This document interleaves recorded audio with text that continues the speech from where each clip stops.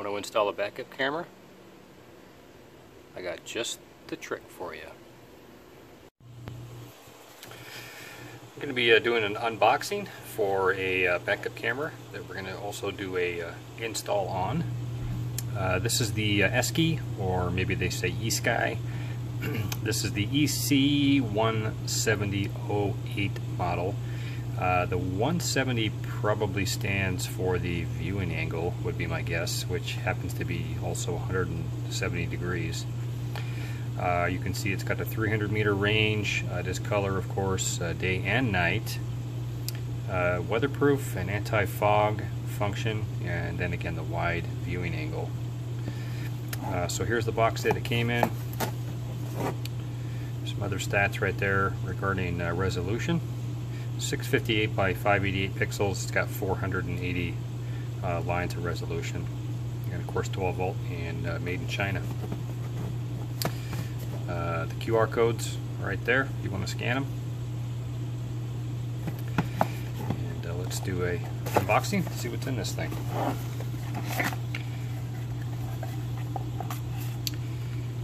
Uh, some warranty information. It does have a 30-day money-back guarantee, 12-month replacement warranty, and uh, what they call a lifetime support guarantee. Sounds pretty good. Uh, we have the uh, VGA connection to connect to your video monitor inside your vehicle. Uh, this one also has a red power lead here that uh, I suspect that you can use to actually grab power from somewhere inside of your dash. Uh, that's actually probably what I'm going to do is hook directly up to the uh, 12 volt accessory circuit near the radio so that the camera will have uh, constant power as opposed to uh, when I'm only in reverse. My head unit does have the ability to display the rear view camera at any time, which will be sort of neat. So that's the function I'll probably use there. Uh, if you don't do that, uh, you can of course just use the power leads that they supply here and hook up to the reverse light and then of course the black would be for the ground that you would uh, ground somewhere near the back of the vehicle.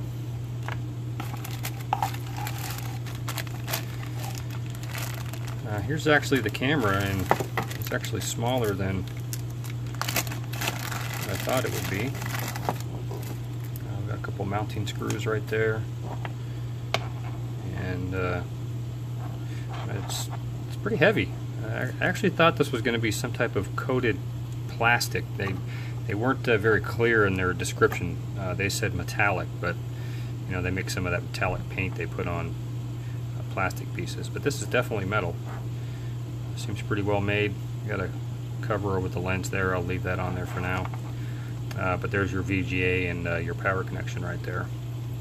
And it's already got sort of a mounting strip attached. So um, I got a pretty good idea about where I'm going to put this. And we'll get to the install right now. And uh, there's the unboxing for you. And again, this is the uh, Esky E7-17008 and I bought this off Amazon. Uh, it was around $20. I'll link it in the description. Let's uh, get started on the install. So I have a 2003 uh, Chevy Silverado that uh, does not have a little under trunk sort of flange that uh, a car or SUV would have. Obviously I've just have the tailgate and so looking for a suitable uh, location I found this spot right in here that the camera seems to fit in very nicely actually and maybe a little bit hidden but that seems to work out pretty well right there. And I do have a little slot back there I can feed the wires down through. So that looks pretty good. Uh, I'm going to have a heck of a time trying to get screwdriver up in there. I'm going to have to figure out a, uh, a good way to mount this up there. So we'll poke around the garage and see what we can find. So I had some of this uh, plumber's tape it's actually a little thicker gauge than, than plumber's tape. Sort of metal strapping. I was able to cut uh, just a little piece off that I'd uh, measure that I'm going to mount the uh, camera to. And uh, this little piece, I'll take the camera and show you, uh, fits up in a slot that's exposed right up above that. And so I think I can wedge that in there if I have to put a little bit of uh, caulking or some type of uh, sealant up there to keep it from sliding out but that, that's pretty tight. I don't think it's going to come out. It's going to be sort of under spring tension. Uh, but that looks pretty good. That's what I'm sort of shooting for.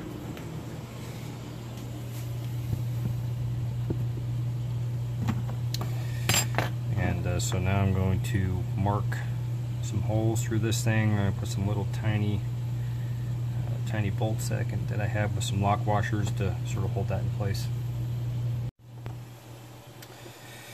I believe I've successfully mounted this uh, to this plate uh, here so this should allow me to slip it up in there. I'm going to cut off the uh, excess on the bolts there uh, just so they don't get in the way. Okay, well there it is all mounted in there. It actually worked out really, really well. Uh, you can see how it sort of tucks up in there and I cut that uh, little metal bracket piece a little longer than it needed to be so that it would uh, sort of have to be held in place under its own spring tension. Um, in addition, the, the nuts on top are, are sort of pushing against it uh, and this thing is uh, extremely tight it is very solid in there so it's not moving at all so the only thing left to do is the wiring and for that it's underneath find a channel and a way to come up inside the cab so we'll figure that out next uh, here's my head unit uh, for my truck. This is a uh, Clarion NX 501. And uh, had all my connections up top here that I'm not using right now. I have some amp connections I have not uh, hooked up, but the uh, video connection uh, I just made back here. And I've sort of fished the wire down this direction. And right here through that grommet is the uh, parking brake. So I'm going to shoot down right through that grommet and then uh, feed the wire all the way to the back of the truck.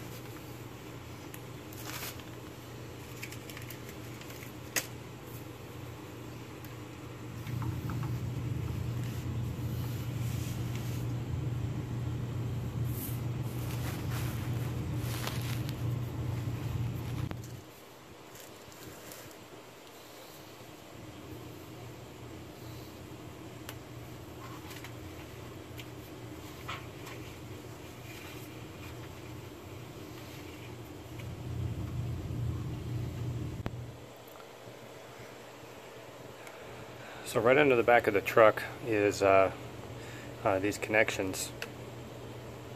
Uh, this one here is for the right right turn signal and brake assembly. The top one is for the left side.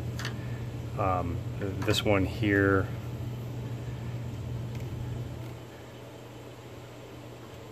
uh, is the main power feed into this uh, wiring block. Uh, and then this one feeds the uh, license plate lights. Okay, so I determined that uh, at the bottom of this, uh, the second one from the left on the bottom is my constant power.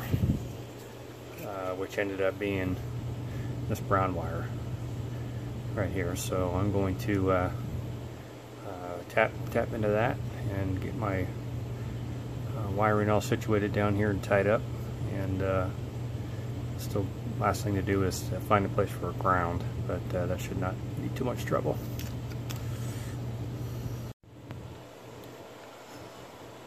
Okay, I got a splice connector on there, on that hot lead, and uh, ended up running the ground over there, just to the uh, sheet metal screw, ground it down to the body, and uh, I got everything tied up here, strapped up, and uh, we're ready to go. Test it out. Okay, install complete. And uh, you can see I'm actually in park right now.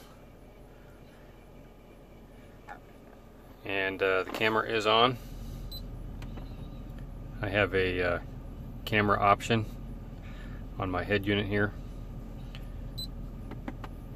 so I can uh, enable this while I'm driving. So let's take a quick drive. Let's check it out